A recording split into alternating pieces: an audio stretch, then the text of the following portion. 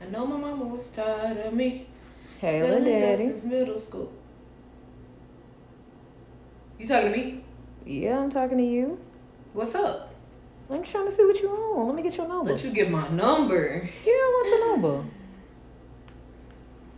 Come here. Shoot, what's up? What's your first name? Leanna Last name?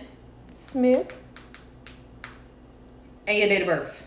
Two three ninety six. What's up? What you doing? Oh, I ain't doing nothing. I'm just I'm just running a background check on you real quick. Cause you approached me out of the blue like I'm supposed to know you. And I don't. Hmm? So hold on. Um. Okay. Weird.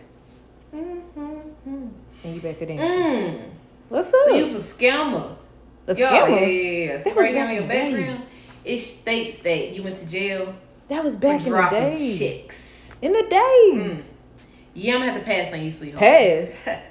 if you're dealing with an individual that just walks up to you randomly and they want to acquaint themselves with you, and you may have your own suspicions about them, yeah, go ahead on over to SpyFly, type their name in, and boom, you're gonna get that background check. Don't be out here dating no crazies, cause it can get wild out here.